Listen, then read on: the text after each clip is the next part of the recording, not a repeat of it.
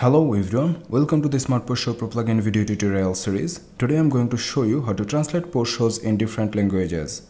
Of course, this video is only for those who are using a multilingual website. A multilingual website has content in more than one language. So whatever plugin or content you are using, you must need to translate them into different languages. In that case, if you are using Smart Post Show Pro plugin, then you need to translate the post shows in different languages. Today I'm going to show you how you can do that. There are so many plugins like Translate Press, WPML, Polylang, Loco Translate you can use to translate your website. In this video, I am going to use the Polylang Multilingual plugin to translate post shows. Let's install and activate the plugin. I have already installed and activated it. By default, every WordPress site language is set to English. As you are creating a multilingual site, you must need to translate WordPress contents like post, media and other text into different language. Let me show you how you can translate a post. Go to all posts and you can see I have already translated a few posts. Let's translate another one.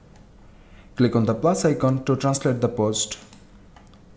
As you can see, now I am in Dutch language. Let's translate the title into Dutch language using the Google Translator. So copy the title from here.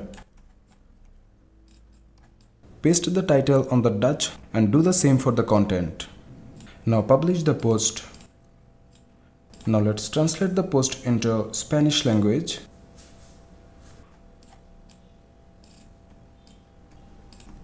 Okay, the post is translated into Dutch and Spanish language. Now publish it. Now go to Smart Post Show and click Add New to create a new show and give it a title first. I have given it a title like Test Show in because now I'm in English language as you can see it here.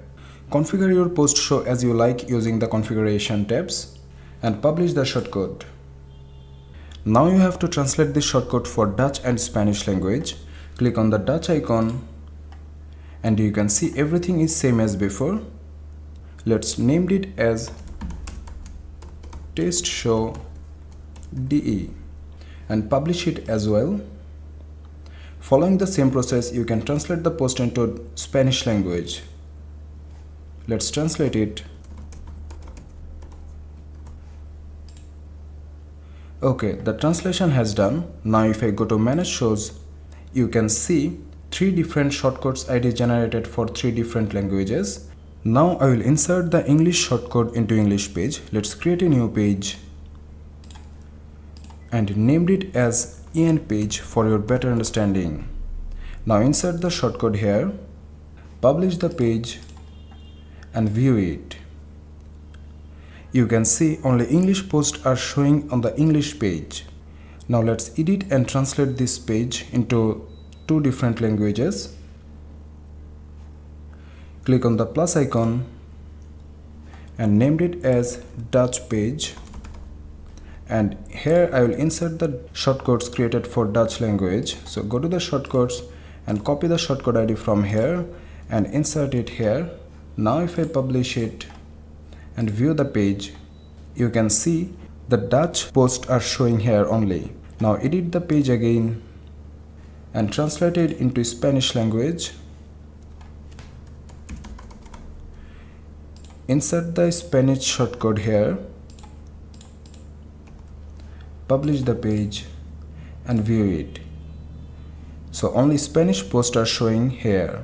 Now if I switch the language from the widgets, when I click on Dutch language page it is showing the Dutch post, when I click on English it will show the English post, when I click on Spanish it will show the Spanish post. So this is how you can translate post shows in different languages and display them into their correspondent language pages. That's all about today. In the next video I will come up with another attractive feature of the plugin. Until then, take care.